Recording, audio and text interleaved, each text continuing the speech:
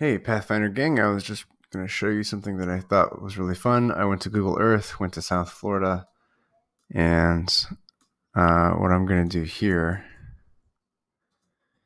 is I'm going to select um, a portion with 10% uh, color matching. So it's only going to select part of the landmass, and I might do something like uh, this.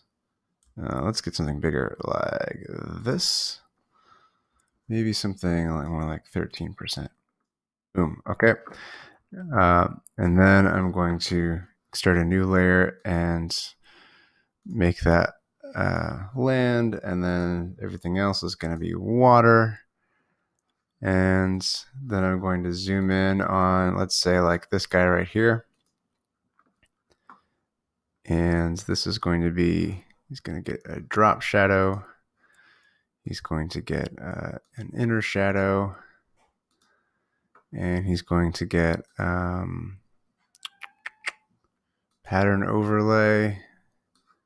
I kind of prepared all these in advance. And then he's going to get, uh, what was it? Bevel and emboss. Yeah. So now it kind of looks like these are mountains. Um, let's see. Oh, I actually like this one.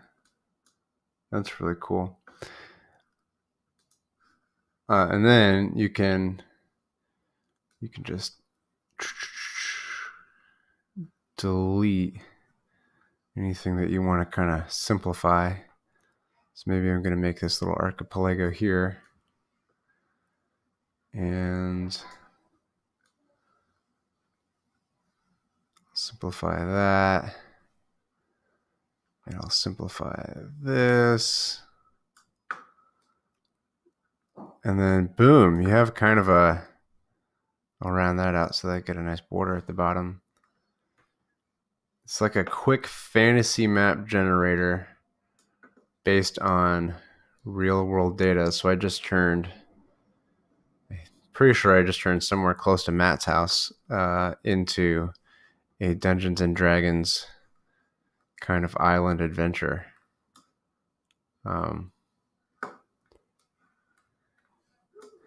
anyway, just thought you'd enjoy that. Um, if I started with something more high res, then this would be in high res, and then uh, we could vectorify it, we could load it in Roll20, and boom, now you know. Okay,